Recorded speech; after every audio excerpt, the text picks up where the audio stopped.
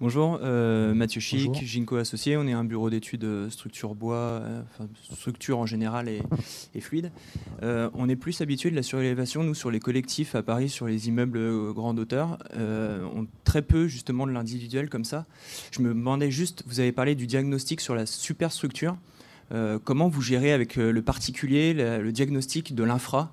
Et je notamment, vous avez montré des exemples de surélévation de, maisons qui faisaient qu'un niveau sur rez-de-chaussée. Donc vous dépassez largement la surcharge des 10% sur les fondations. Comment vous expliquez aux clients? Et, là, est-ce qu'il y avait des, sujets de renforcement des, fondations qui sont souvent déjà sous-estimés en plus euh, sur une maison comme ça? Comment vous surélevez Euh, Est-ce que vous, vous gérez euh, les, les renforcements des fondations? Comment vous gérez ça avec le particulier en fait? Ce qui comprend que ça se trouve, ça sera plus de 50% du budget de la surélévation. Alors, sur de la surélévation de turbo, moi, j'ai jamais, j'ai jamais, encore jamais eu le cas d'avoir à renforcer les fondations. Par contre, si. Mais vous faites les diags? Non, nous, on ne fait pas les diags. Ok. On a un bureau, faut, faut un bureau d'études externe, un bureau d'études béton qui viendra faire les vérifications nécessaires sur l'existant, si on est selon le type de maison. Et vous le préconisez euh, au début de votre euh, Je- projet En fonction de, de la maison et de l'âge de la maison, oui. Après, sur la surélévation au stade turbois, il faut savoir que euh, le poids supplémentaire, peu importe quel type de surélévation, je dirais, le toit, du moment qu'il reste le même, qu'il soit plus haut ou moins haut, c'est le même poids. Ce qui est rajouté, c'est le mur au stade turbois. Un mur au stade turbois, c'est 65 kg par mètre carré environ. Donc, c'est pas les mêmes, dans les mêmes mesures Et que un la plancher de surcharge? Et le plancher en surcharge en- à 150 euh, Ce qui est- ce qui est kg par mètre carré. On n'a pas parlé de prix. On peut avoir des, des ordres de grandeur, non euh, De prix, de- d'une surélévation Alors, Sur l'exemple que vous avez donné, puisque Euh, L'exemple que j'ai donné, celui qu'on a suivi, on est grosso modo à 80 000 euros. La maison, elle faisait 9 mètres par euh, 8 à peu près, je dirais. Sur- un prix au mètre carré sur du hors d'air en surélévation bois, on va être sur du 1400 euros du mètre carré environ.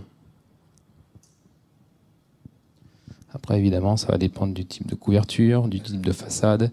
Les choses qui renchérissent très rapidement le prix, c'est la façade. On a vu, euh, on a eu deux exemples. Je ne sais pas si je peux revenir dessus. Donc sur une, sur une façade enduite, sur l'exemple qu'on a suivi, le coût au mètre carré sera évidemment plus faible que sur le deuxième exemple, qui est en bardage, en bardage euh, fibrociment. Donc là, c'est quelque chose évidemment qui, qui, modifie énormément le coût au mètre carré. hein. Quand on est sur des panneaux de façade, maintenant c'est aussi euh, c'est assez à la mode, des panneaux de façade lisses. Euh, si vous partez sur des, des panneaux stratifiés compacts, c'est pareil, le prix va encore, va encore exploser. Et c'est des- c'est un vrai sujet où, les clients euh, sont prêts, on va dire, à mettre un peu d'argent dedans, parce que c'est le rendu extérieur de leur maison. Donc soit ils veulent vraiment que ça s'harmonise avec l'existant, dans le cas de la maison enduite à droite, soit euh, ils, ils veulent différencier la surélévation. Et à ce moment-là, quand on veut différencier la surélévation, souvent on part sur des matériaux qui sont un petit peu plus chers au mètre carré. Bien, on continue? Ah, dernière question.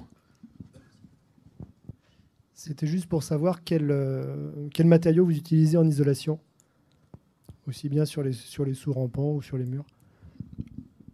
C'est un autre sujet, je crois, mais en, isolation, on, peut utiliser tout ce, qui, tout ce qui se fait, je dirais.